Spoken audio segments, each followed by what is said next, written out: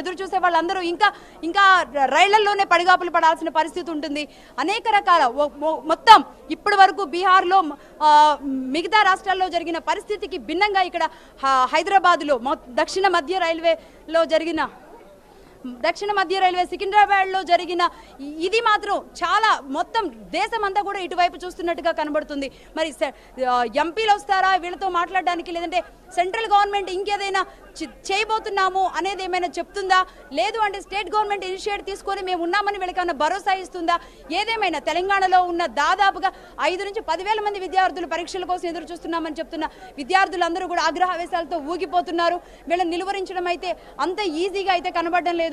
దాంతో పాటుగా వీళ్ళు చెబుతున్న కొన్ని అంశాలు నేను మాట్లాడుతున్న విషయాలను బట్టి నాకు అందుతున్న సమాచారం ప్రకారం వీళ్ళు అంటున్నారు రేపు గుంటూరు ఎల్లుండు ఢిల్లీ ఇక్కడ కూడా మేము పెట్టుకున్నాం ఆల్రెడీ కార్యాచరణ అంటున్నారు. ఈ విషయంలో మనం కనీసం వాళ్ళ ముందు మాట్లాడడానికి కూడా మీరు అలర్ట్ చేయొద్దు మేము మీకు మాత్రమే చెప్తున్నాము అని చెప్తున్నారు. కాబట్టి రేపు కూడా రేపు గుంటూరులో కూడా చెలో గుంటూరు ఆర్మీ టీం ఏమో ఏదైనా వాళ్ళు కూడా కార్యాచరణ పెట్టుకోబోతున్నట్టుగా అయితే వీళ్ళ మాటల్లో అయితే అర్థమవుతుంది. కాబట్టి కనీసం స్టేట్ గవర్నమెంట్ ఈ విషయాన్నైనా ఇప్పుడు మహా న్యూస్ చెప్పిన ఈ చిన్న విషయాన్నైనా పరిగణలో పరిగణలోకి తీసుకొని కనీసం ఆంధ్ర పోలీస్ అయినా అలర్ట్ అవుతారేమో చూద్దాం. అటు మరి ఎల్లుండు ఢిల్లీ అంటున్నారు. ఎక్కడికక్కడ కేవలం వీళ్ళు టార్గెట్ రైల్వే స్టేషన్లు మాత్రమే ఎంచుకున్నారు. అలా అయితేనే రైల్వే రైల్వే స్టేషన్ని మాత్రమే వీళ్ళు టార్గెట్గా ఎంచుకున్నారు. అలా అయితేనే కేంద్ర ప్రభుత్వానికి సెగ తాగుతుంది అని వీళ్ళంతా ఫిక్స్ అయిపోతున్నారు. ఇక్కడ నుంచి అయితే ఎట్టి పరిస్థితుల్లో కదలం అంటున్నారు అర్ధరాత్రే వీళ్ళు అనేక జిల్లాల నుంచి ఇక్కడ చేరుకున్నారు. ఇక్కడ నుంచి ఇప్పుడు ఇప్పుడు ఇప్పుడు పన్నెండు గంటలు దాదాపుగా మూడు నాలుగు గంటల నుంచి ఇదే ఇదే ప్రహాసనం కొనసాగుతూనే ఉంది. మరి ఎవరు స్పందిస్తారు? ఎన్ని గంటల వరకు వీళ్ళు ఇక్కడ నుంచి ఇక్కడ వీళ్ళని ఇక్కడ నుంచి తరలిస్తారు అనేది కూడా చూడాలి. Yeah okay Lakshmi okay. Right కేంద్ర ప్రభుత్వం విడుదల చేసినటువంటి అగ్నిపద్ని వెంటనే రద్దు చేసుకోవాలి. అదేవిధంగా ఆర్మీ ఎగ్జామ్స్ని కొనసాగించాలని చెప్పని డిమాండ్ చేస్తూ ఈ ఆందోళన చేపట్టారు. మనం చూస్తే విజువల్స్లో ఎవరైతే రైల్వే స్టేషన్లో జరుగుతున్నటువంటి దాడి ధ్వంసం సమయంలో ఒక తల్లి ఒక బిడ్డని కాపాడుకుంటున్నటువంటి ప్రయత్నం ఆ విజువల్స్ని మనం పక్కన బాక్స్లో చూస్తున్నాం. ఆ బిడ్డని కాపాడుకోవటం కోసం అతను చెయ్యి అడ్డం పెట్టి తగిలితే నాకు తగిలిద్ది కానీ బిడ్డకు తగలకూడదు అన్నటువంటి ఒక తల్లి ప్రేమతో అక్కడ ఉన్నటువంటి కాపాడుకుంటున్నటువంటి దృశ్యాలు చూస్తే మనం చుట్టూతా మరోవైపు ధ్వంసం అవుతున్నాయి. కర్రలు తీసుకొని అక్కడ ఉన్నటువంటి షాపులు అవన్నీ కూడా పగిలిపోతూ ఉన్నాయి. ఆ సమయంలో ఆ బిడ్డను కాపాడుకుంటూ ఒక ఆందోళనకరమైనటువంటి పరిస్థితిలో ఆ కన్నతల్లి ప్రేమ కనపడుతూ ఉన్నది. అయితే అక్కడి నుంచి తర్వాత వాళ్ళు అక్కడి నుంచి వెళుతున్నటువంటి దృశ్యాలు కూడా తర్వాత మనం ప్లే చేయటం జరిగింది.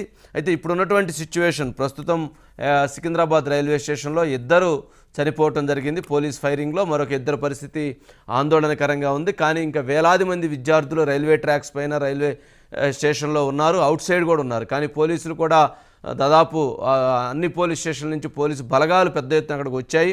వచ్చినటువంటి పోలీస్ బలగాలు అక్కడ ఉన్నటువంటి విద్యార్థులను బయటికి పంపించేటువంటి ప్రయత్నం చేస్తుంది. పోలీసులు నినాదాలు చేస్తున్నటువంటి పరిస్థితి. పోలీసులని వ్యతిరేకంగా ఎవరైతే ఇండియన్ ఆర్మీ సంబంధించినటువంటి స్టూడెంట్స్ ఆందోళన చేస్తున్నటువంటి దృశ్యాన్ని చూస్తున్నాం. ఇదే అంశానికి సంబంధించి రమణ న్యూస్ ఎడిటర్ రమణ ఉన్నాడు. రమణ వంశీ గారు. ఏంటి ప్రస్తుతం సికింద్రాబాద్ రైల్వే స్టేషన్ అట్టుడికి పోతుంది. దేశవ్యాప్తంగా అన్ని అన్ని ప్రాంతాల్లో కూడా ఒక అగ్నిగుండంలాగా ఉన్నటువంటి పరిస్థితి ఉంది ప్రస్తుతం అంటే అక్కడ సిచ్యువేషన్ సికింద్రాబాద్లో కంట్రోల్లోకి వచ్చిందా? దీనిపైన ఉన్నతాధికారులు ఏమంటున్నారు లేదా ఇటువైపు విద్యార్థులు ఏమంటున్నారు? నిజానికి వంశీ గారు ఈ అగ్నిపథ అనేది ఒక దేశవ్యాప్తంగా ఒక అగ్నిగుండాన్ని తీసుకువచ్చిందని చెప్పొచ్చు. ఎందుకంటే కేంద్ర ప్రభుత్వం తీసుకున్నటువంటి ఒక కొత్త నిర్ణయం వల్ల నిరుద్యోగులలో ఒక నిరసన జ్వాలలు పెళ్ళబుకుతున్నాయి అంటే పదిహేడు నుంచి ఇరవై ఒక సంవత్సరాల వయసు మధ్య ఉన్నవారు అంటే పదిహేడు సంవత్సరాలు కంప్లీట్ అయ్యి ఇరవై సంవత్సరాల మధ్య ఉన్న వయసు ఉన్న వాళ్ళను అంటే వాళ్ళు చాలా యంగ్స్టర్గా ఉంటారు. వాళ్ళను అగ్నిపథ అనేటువంటి ఒక టీం పేరుతో అంటే అదొక వింగ్లో ఆర్మీలో ఉండేటువంటి వింగ్లలో దా అదొక వింగ్గా దానికి నామకరణం చేశారు. వాళ్ళను రిక్రూట్ చేసుకోవడం వల్ల కాస్త- యాక్టివ్గా ఉంటారు. యుద్ధాలు కానీ కానీ లేదా ఇతర దేశాల వాళ్ళు దేశాలపై దాడులు చేసినప్పుడు కానీ లేదా తీవ్రవాదులు కానీ ఉగ్రవాదులు కానీ వాళ్ళపైన దాడి చేయడానికి ఉపయోగపడుతుంది అనేటువంటి ఒక కాన్సెప్ట్తో కేంద్ర ప్రభుత్వం తీసుకొచ్చింది. అయితే దీనివల్ల ఏం జరుగుతుందంటే ఇప్పటి వరకు ఆర్మీలో ఉన్నటువంటి రిక్రూట్మెంట్ విధానానికి భిన్నంగా దీన్ని తీసుకొచ్చారు. అంటే కేవలం నాలుగు సంవత్సరాల పాటు ఈ సర్వీస్ ఉంటుంది.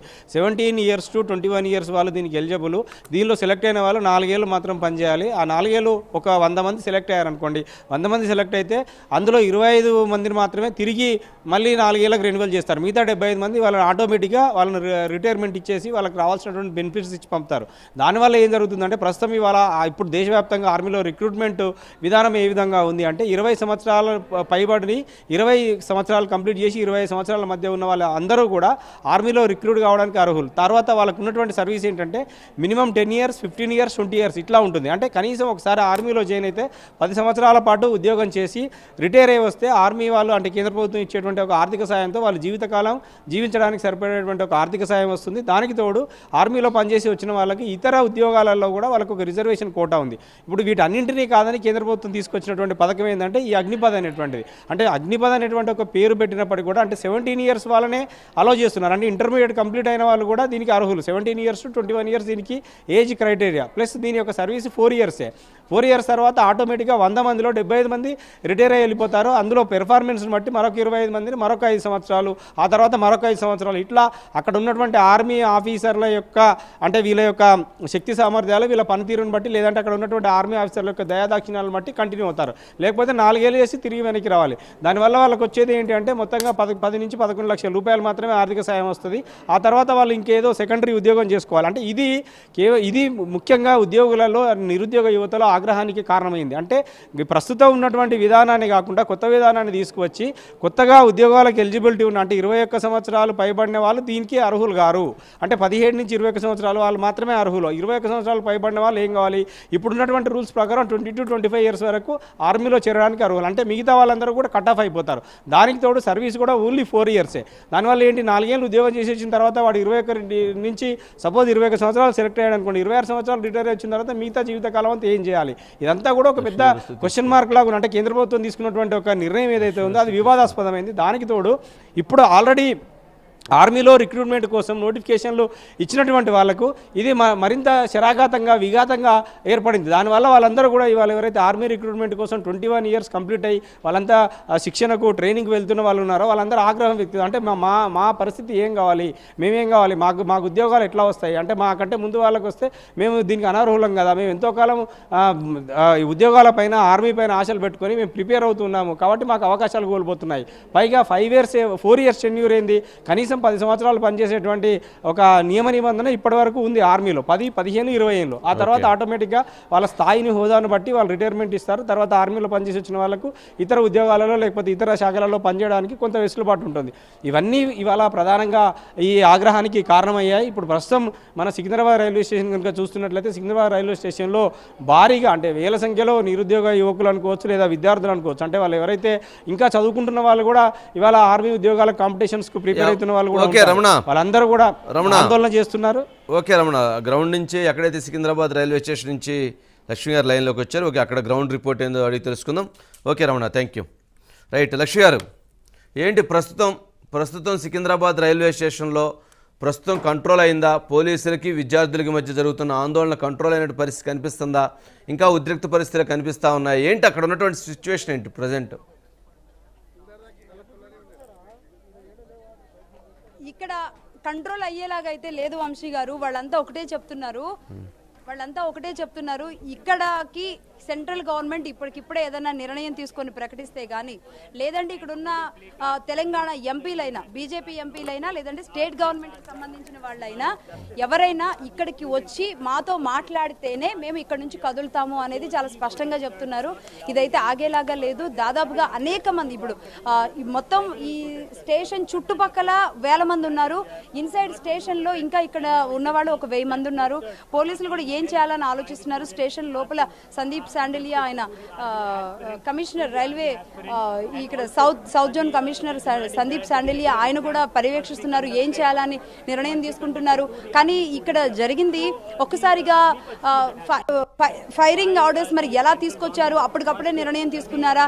లేదంటే ఎవరైనా షూట్ ఆర్డర్స్ ఎవరైనా ఇచ్చారా? ఏమో తెలియదు కానీ అప్పటికప్పుడే ఒక్కసారిగా వచ్చి కాల్చడం మీద వాళ్ళు చర్యలు తీసుకోవడం కనీసం గాల్లోకి కూడా కాల్పులు జరపకుండా మా మీద జరపడం ఇక్కడున్న విద్యార్థులు ఒక విద్యార్థి వచ్చిన వాళ్ళ విద్యార్థులలో ఒక విద్యార్థి స్పాట్లో చనిపోవడంతో ఇక్కడ దీన్ని ఇంకాస్త ఇది పెరిగింది అని విద్యార్థులు చెప్తున్నారు. పోలీసులు ఇక్కడ ఎవరు కూడా ఇప్పుడు ప్రస్తుతానికి మాట్లాడేలాగా లేరు. మేబీ సందీప్ సాండిల్య కాసేపట్లో ఆయన మీడియా ముందుకు వచ్చి ఏమైనా చెప్పే అవకాశాలు అయితే ఉన్నాయి. అసలు ఏం జరిగింది? మరి ముందుగా ఎందుకు దీన్ని అంచనా వేయలేకపోయారు? ఇంటెలిజెన్స్ కూడా కనీసం ఎందుకు ఈ విషయంలో చెప్పలేకపోయింది? కనీసం కనిపెట్టలేకపోయింది అనేది కూడా అర్థం కావట్లేదు. ఈ ఇన్ని గ్రూప్స్లో అసలు ఒక గ్రూప్లో ఒక మెసేజ్ వస్తేనే మనం చూసాం చూసాము. ఒక మాస్ కాపింగ్ లాంటిది జరిగితేనే అది క్షణాల్లో తెలిసిపోయేది. ఇన్ని గ్రూపుల్లో అది కూడా ఆర్మీకి సంబంధించిన దాంట్లో. ఒక ఎగ్జామ్ క్యాన్సిల్ అయిన తర్వాత డెఫినెట్గా ఈ భావోద్వేగాలతో కూడుకున్న విషయంలో మరి వీళ్ళు ఎందుకు ఒక